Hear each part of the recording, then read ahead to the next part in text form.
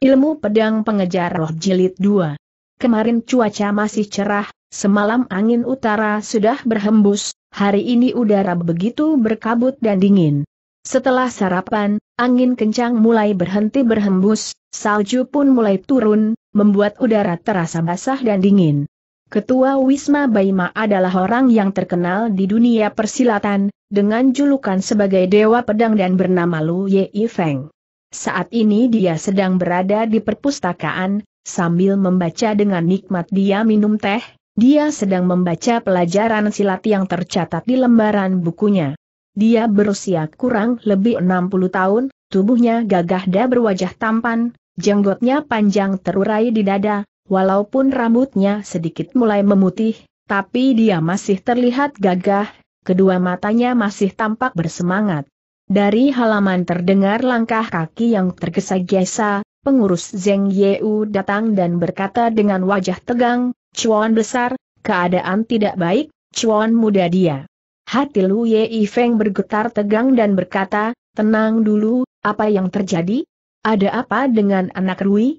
Zeng Yeu menenangkan dirinya dan berkata, telah terjadi sesuatu dengan Chuan Muda Rui, dan Chuan Muda Gao terluka parah, mereka. Belum habis kata-kata Zeng Yeu, Lu Ye Feng sudah jatuh pingsan. Guru.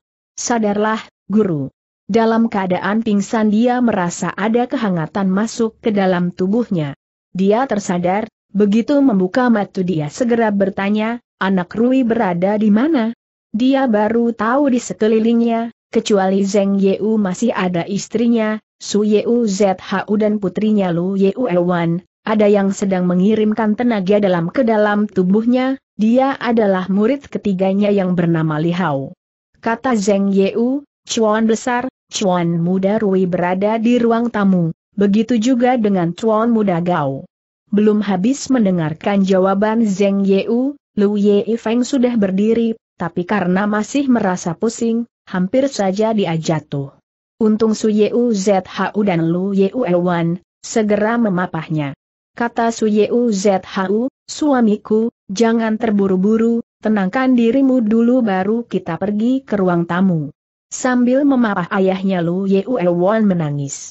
Lu Ye Feng berkata, cepat bawa aku ke ruang tamu. Ada pepatah yang mengatakan, Hal yang paling menyedihkan adalah kehilangan anak pada masa tua. Apalagi anak itu adalah anak terakhirnya.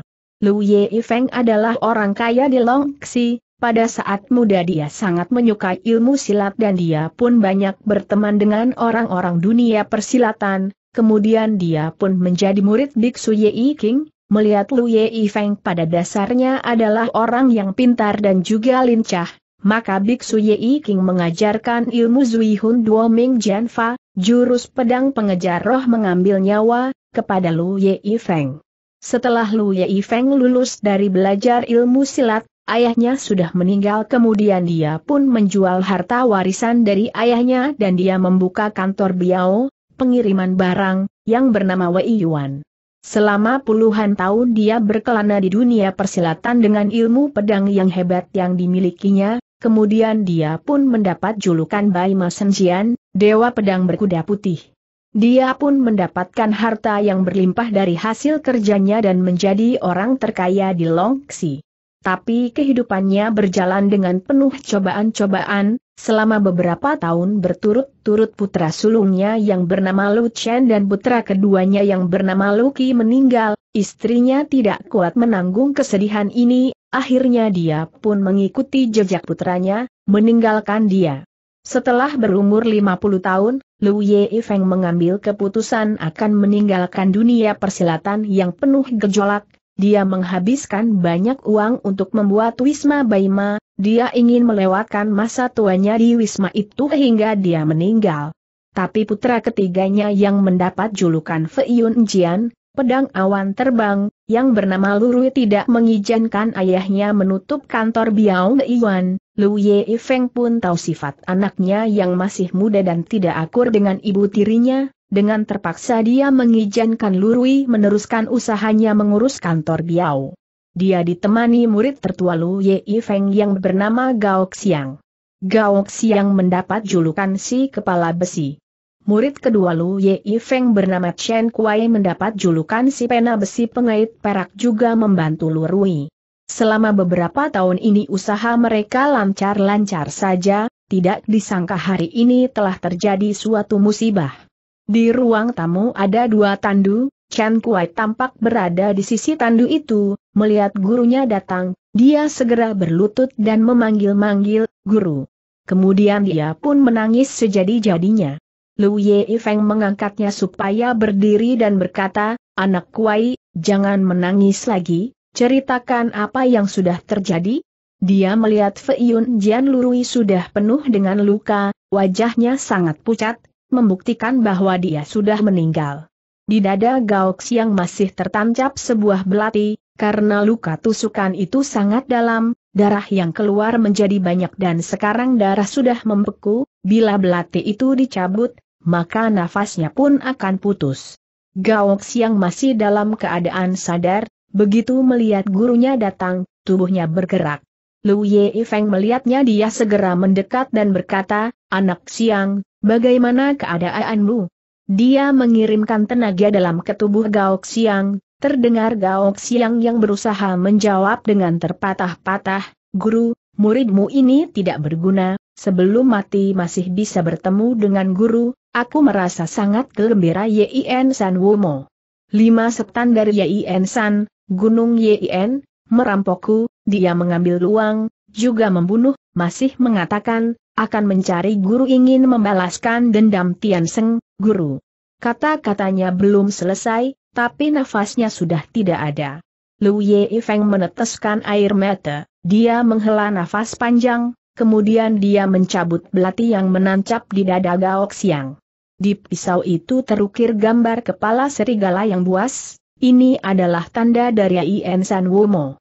Kemudian dia pun melihat tubuh putranya, dia merasa aneh dan bertanya kepada Chen Kuai, anak Kuai, bukalah baju kakak seperguruanmu, aku ingin melihat lukanya.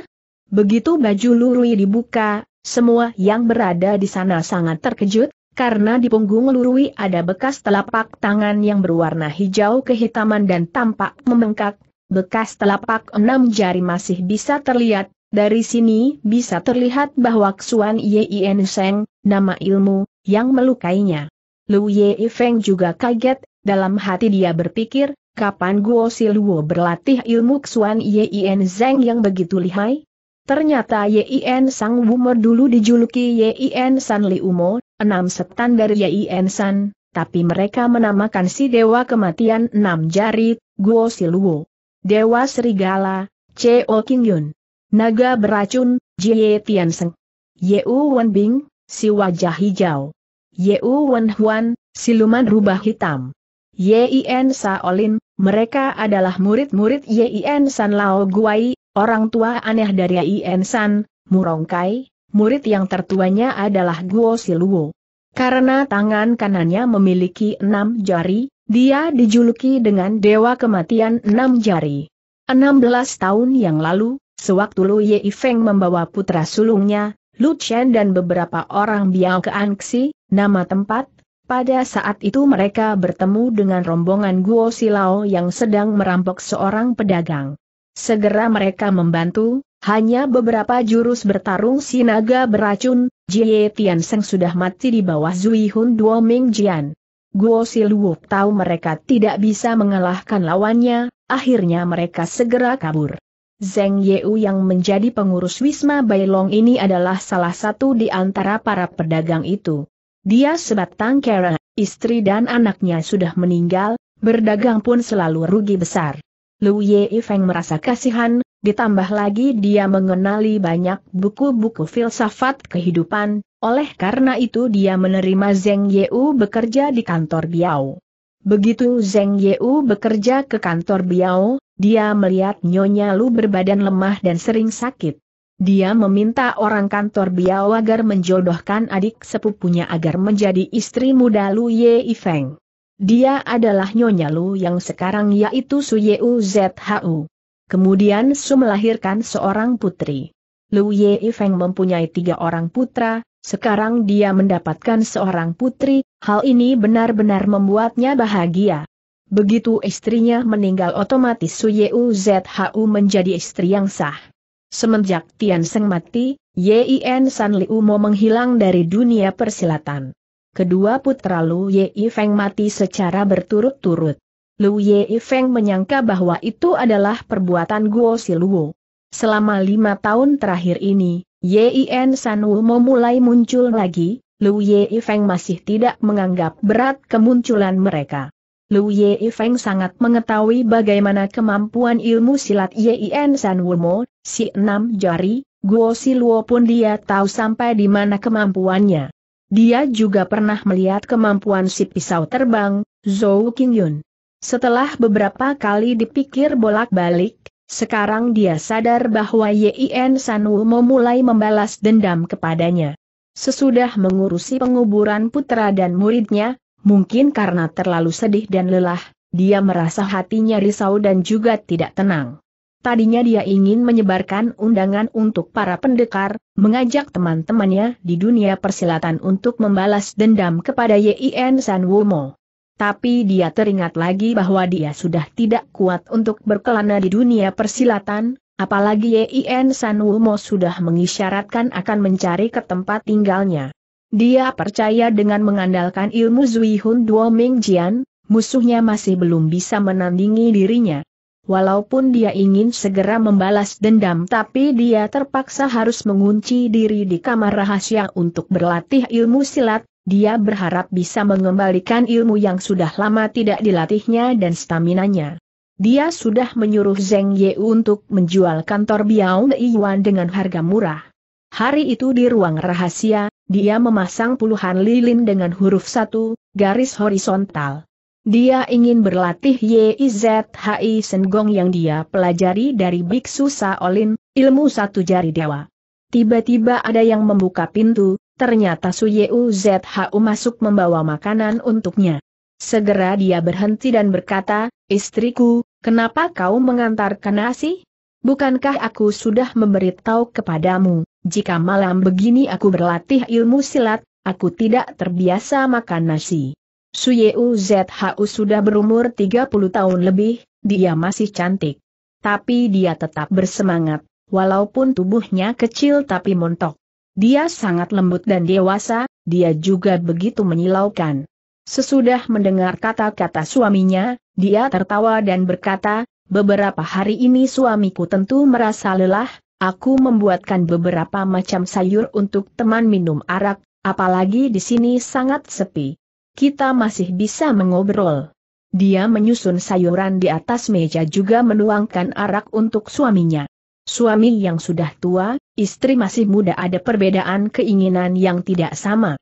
Lu Ye Feng tahu apa yang dimaksud dengan istrinya, dia tertawa dan bertanya, istriku, bagaimana keadaan anak Won beberapa hari ini?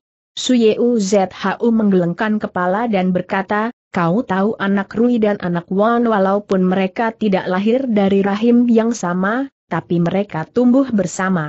Mereka juga sangat akrab. Beberapa hari ini dia merasa sangat sedih.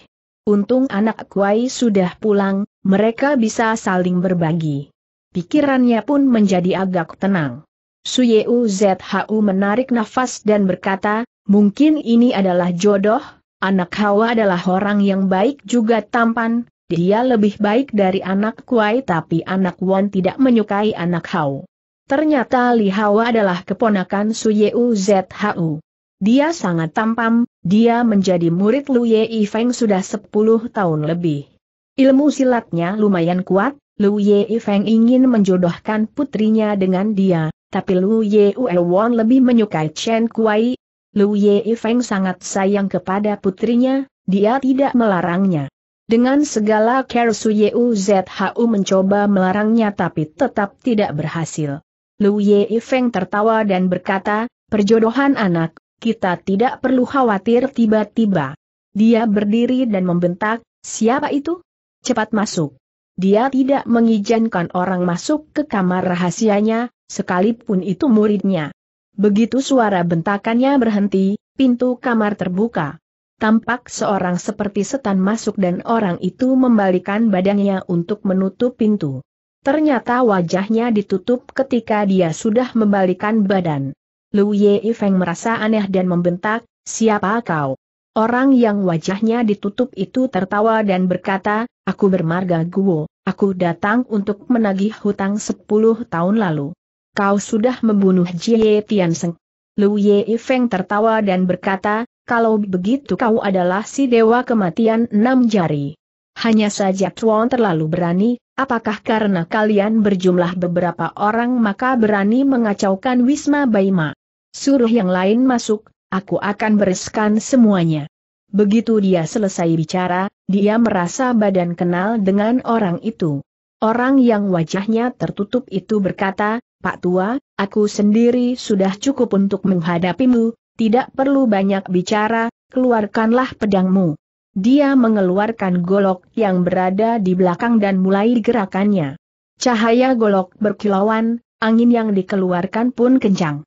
Lu Ye Feng sudah tahu bahwa ilmu silat orang itu sangat tinggi, tapi karena dia seorang diri, Lu Ye Feng sama sekali tidak menaruh di hati semua perkataannya. Dengan dingin dia berkata, terhadap kalian yang tarafnya hanya seperti tikus, tidak perlu memakai pedang, hanya dengan tangan kosong pun sudah cukup. Begitu habis bicara, dia mengeluarkan jurusnya dan menyerang ke arah dada depan orang itu. Ilmu silat Lu Ye Feng sangat tinggi, kecuali Zui Hunjian yang terkenal di dunia persilatan, dan Li Jin Gang Seng, tenaga telapak emas dan baja, juga terkenal di dunia persilatan. Kedua telapak tangannya segera mendorong. Telapak belum sampai di dada orang itu, angin sudah sampai terlebih dulu. Orang yang wajahnya ditutup itu tahu bagaimana lihainya ilmu silat ini, tanpa sadar dia mundur selangkah.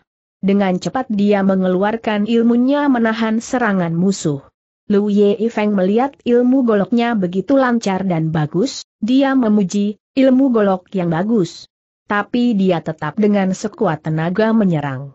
Satu jurusnya ternyata dilawan dengan dua kali jurus golok. Walaupun orang yang wajahnya ditutup itu memiliki pisau di tangannya, tapi dia tetap takut dengan wibawa lawannya. Dia hanya mengayunkan pisau ke kiri dan ke kanan, maju dan mundur. Dalam waktu singkat mereka sudah bertarung sebanyak 20 jurus lebih. Tiba-tiba Lu Ye Feng sengaja memberi peluang supaya diserang. Peluang ini terlihat lawannya, dengan goloknya menggambar lingkaran yang berkilauan, golok itu sudah membacok ke pinggang Lu Ye Feng. Segera tangan kiri Lu Ye Feng mengunci golok lawan, tangan kanan sudah memukul wajah lawan. Jurus ini adalah jurus paling ganas dibanding ilmu silat Lu Ye Feng lainnya. Tenaga yang dikeluarkan sangat dahsyat, tapi juga harus memboroskan tenaga yang banyak. Dia baru saja ingin menahan serangan pisau, tiba-tiba merasa ada urat nadinya yang bergetar. Kemudian dia merasa tenaga dalamnya menghilang. Walaupun tangan kanannya sudah dikeluarkan tapi tenaganya sama sekali tidak ada. Hatinya mencelos, dia mengira mungkin beberapa hari ini hatinya merasa sedih karena itu tubuhnya tidak bertenaga. Dengan cepat dia mundur dua langkah, tapi dia sudah tidak berani memakai tenaga dalam lagi.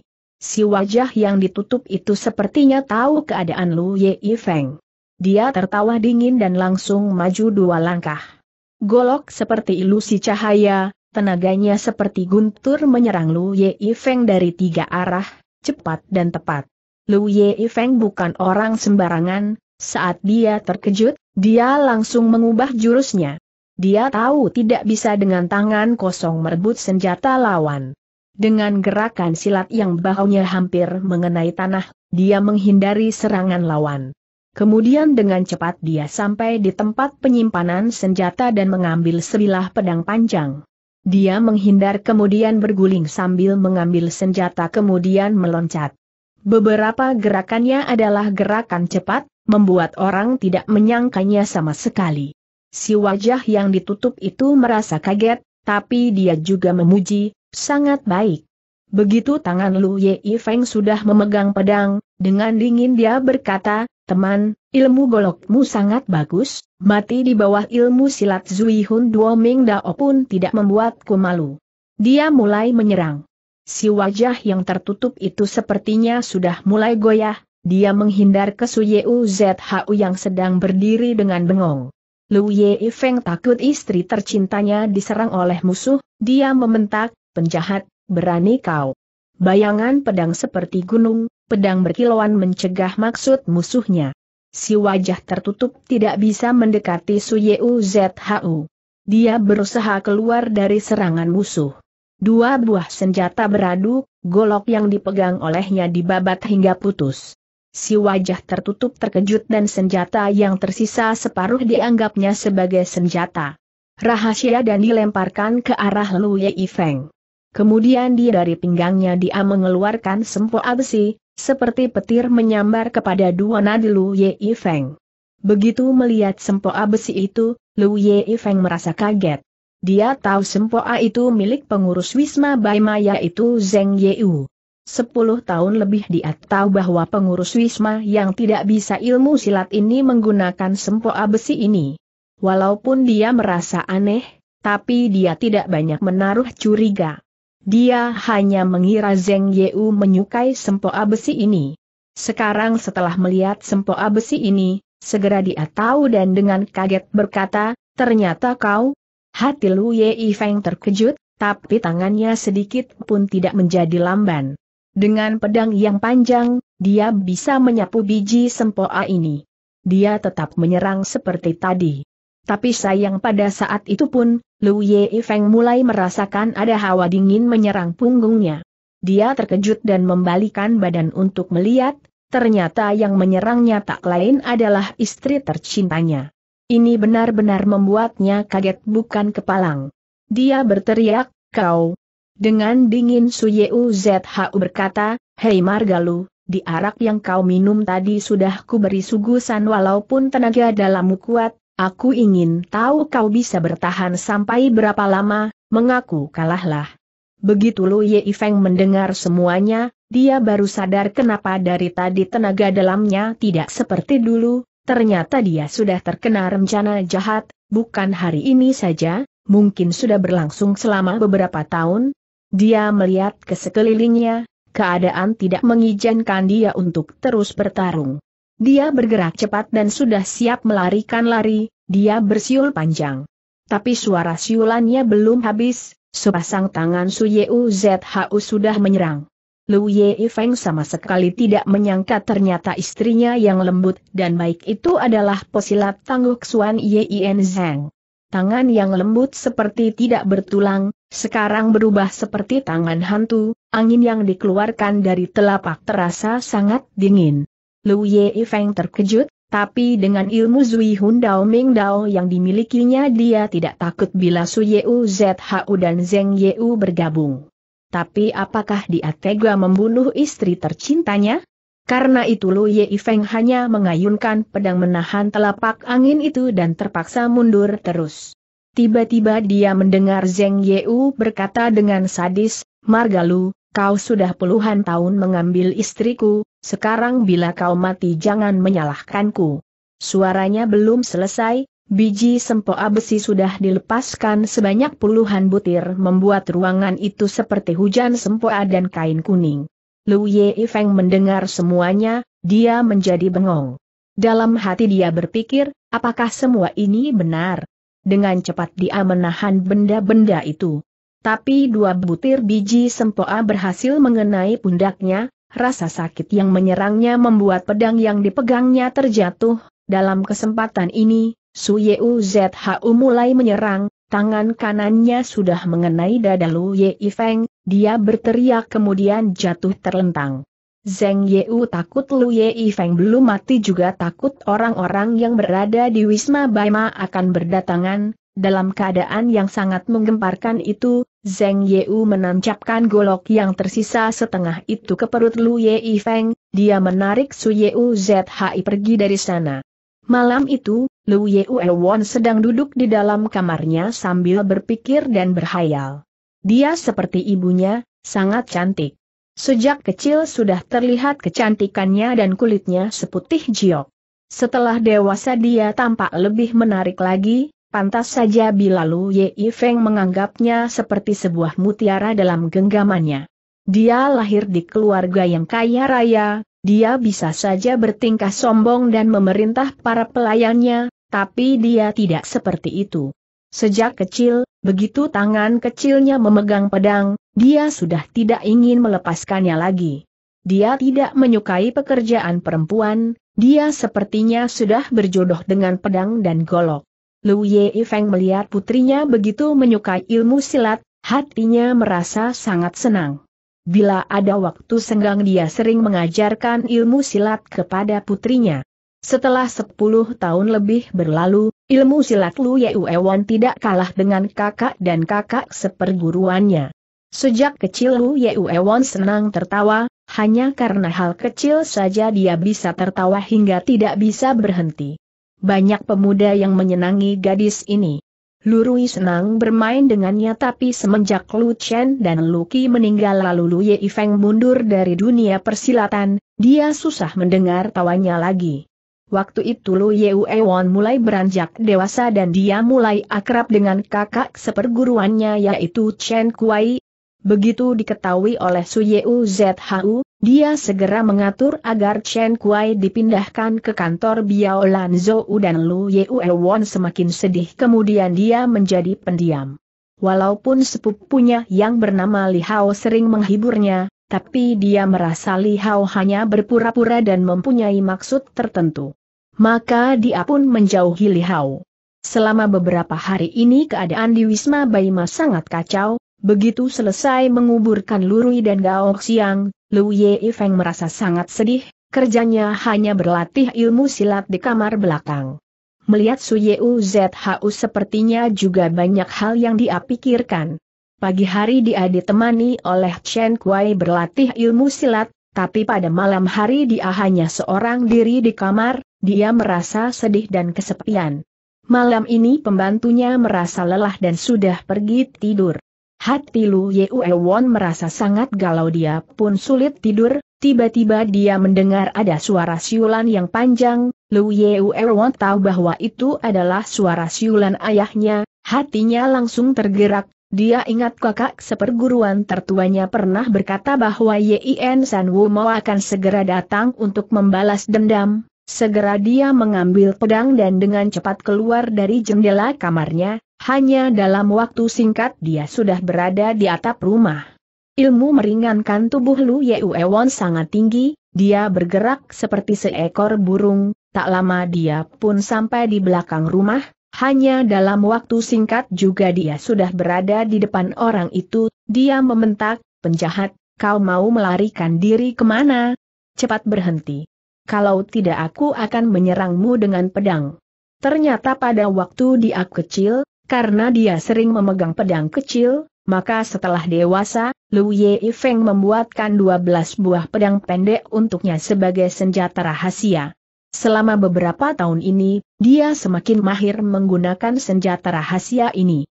Ada 100 dinding sasaran, maka ada 100 kali tepat mengenai sasaran.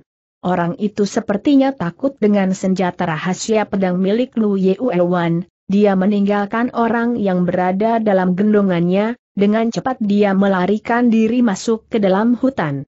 Lu Ye Won mendekat untuk melihat orang yang ditinggalkan tadi, dia terkejut bukan kepalang, ternyata orang itu adalah ibunya, sepertinya karena terkejut dia pun pingsan, tapi tubuh ibunya tidak terluka sama sekali, dia memapah ibunya, memijit agar sadar dan juga memanggilnya. Suyeu ZHU mulai sadar, melihat ada putrinya dia terpaku, kemudian dia berkata, anak, cepat tolong ayahmu. Lu Ewon terkejut dan berkata, ibu, ada apa dengan ayah? Suyeu ZHU menarik nafas dan menjawab, Yin San mau datang untuk membalas dendam, ayahmu, dia, dia terluka berat, cepatlah. Li Hao dan Chen Kuai membawa senjata datang dari arah belakang, ada beberapa orang yang membawa obor. Lu Won berteriak kepada Li Hao, kakak seperguruan, cepat papa ibu pulang. Sebelum kata-katanya habis dia sudah meloncat dan berlari, bayangannya pun sudah tidak terlihat. Chen Kuai yang berada di pinggir memujinya, tidak disangka dalam beberapa tahun ini, ilmu meringankan tubuhnya maju dengan pesat. Dalam waktu singkat Lu Yeu Elwon sudah berada di kamar rahasia ayahnya, di bawah cahaya lilinda melihat tubuh Lu Yei Feng penuh dengan darah. Lu Yeu Elwon kaget dan berteriak, dia melihat setengah golok tertancap di perut ayahnya, dia tahu bahwa tenaga dalam ayahnya sangat kuat, walaupun dia terluka parah, tapi lukanya tidak akan membahayakan jiwanya, tapi begitu dia meraba tubuh ayahnya terasa dingin seperti es, segera dia menempelkan kedua telapak tangannya ke punggung Lu Yei Feng. Walaupun tenaga dalamnya biasa-biasa saja, tapi Lu Yei Feng sudah mulai bisa bernafas, luka dari perutnya mengalir darah dan tidak bisa berhenti. Tiba-tiba di luar ada suara langkah kaki yang tidak teratur. Yang pertama masuk adalah beberapa pegawai, melihat keadaan seperti itu wajah mereka langsung bengong, kemudian Li Hao memapah Su Yeu ZHU masuk bersama-sama dengan Chen Kuai, yang terakhir masuk adalah pengurus Wisma Baima, Zheng Yeu, dia datang seakan-akan baru bangun dari tidur. Waktu itu Lu Ye Feng terbangun dari pingsannya dengan perlahan dia membuka mata, melihat Lu Ye Won berada di sisinya, dengan terengah-engah dia ingin mengatakan sesuatu, tapi setelah melihat ada Zeng Yeu dan Su Yeu ZHU di sana, dia merasa sangat marah, tapi hatinya berpikir, putriku dan semua murid tidak memiliki persiapan sama sekali, bila aku mengatakannya sekarang, mereka berdua akan membunuh. Dia hanya berkata, putriku. Segera dia berpura-pura tidak kuat dan memejamkan matanya. Lu Yeu Erwon tahu bahwa ayahnya ingin mengatakan sesuatu, sambil menangis dia memanggil, ayah. Dia mendekatkan telinganya ke mulut Lu Yei Feng, dengan suara kecil Lu Yei Feng berkata, putriku, pergilah ke Tian Sui Yeu Kuan Guan, nama tempat, untuk mencari paman gurumu, untuk membalaskan dendam ayah, ibumu dan tiba-tiba tubuh Lu Yei. Feng gemetar, kemudian tenggorokannya pun berbunyi, kepalanya terkulai, dia sudah menghembuskan nafas terakhirnya. Lu Yeu Elwon sangat kaget dan dia berteriak, ayah. Dia melihat ibunya sedang mengosokkan tangannya ke dada ayahnya, dia tidak menaruh curiga, begitu memegang nadi ayahnya, dia tahu bahwa ayahnya sudah meninggal, dia pun menangis sejadi-jadinya. Su Yeu Zhu memeluk Lu Yeu Elwan, dia pun ikut menangis, dia berkata, anak, jangan menangis lagi. Li Hao pun ikut menasihati, adik, guru sudah meninggal dengan tenang, kau harus menjaga kesehatanmu. Di sana ada dua orang yang dengan dingin melihat semua itu. Yang satu adalah si penghitung besi, Zeng Yeu dan yang satu lagi adalah si pena besi pengait perak, Chen Kuai, Awalnya rencana Zeng Yeu adalah berpura-pura menculik Su Yeu ZHU dan memancing orang-orang yang berada di Wisma itu keluar, supaya nyawa Lu Yei Feng tidak ada yang menolong kemudian dia akan mati dengan sendirinya. Dia melihat Lu Yeu Ewon terkena akal muslihatnya, segera dia meletakkan Su Yeu ZHU dan melarikan diri, kemudian dia kembali lagi ke Wisma, begitu dia sampai di kamar rahasia itu, tidak disangka Lu Yei Feng belum mati, dia terpaku karena melihat Lu Yei Feng sepertinya ingin mengatakan sesuatu, Su Yeu ZHU juga tampak bengong, dengan isyarat matanya Zeng Yeu menyuruh Su Yeu ZHU mendekati Lu Yei Feng, begitu Su Yeu ZHU menempelkan telapak tangannya ke dada Lu Yei Feng, dia tahu bahwa Lu Yei Feng sudah tidak mungkin hidup lagi, baru dia merasa tenang. Di matanya terlihat ada tawa licik. Tapi pena besi pengait perak, Chen Kuei mempunyai pikiran yang lain. Dia tahu ilmu silat Yin San Wulmo memang sangat tinggi dan kejam tapi mereka bukan lawan gurunya. Sekarang gurunya terluka begitu berat, dia juga mendengar ada suara orang yang bertarung. Keadaan ini benar-benar membuat orang tidak mengerti.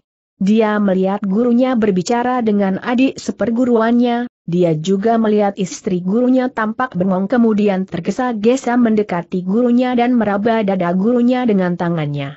Dia sudah curiga. Begitu tangan Su Yeu ZHU dilepaskan dari dada Lu Ye Feng, telapak Su Yeu ZHU terlihat ada warna kehijauan seperti besi.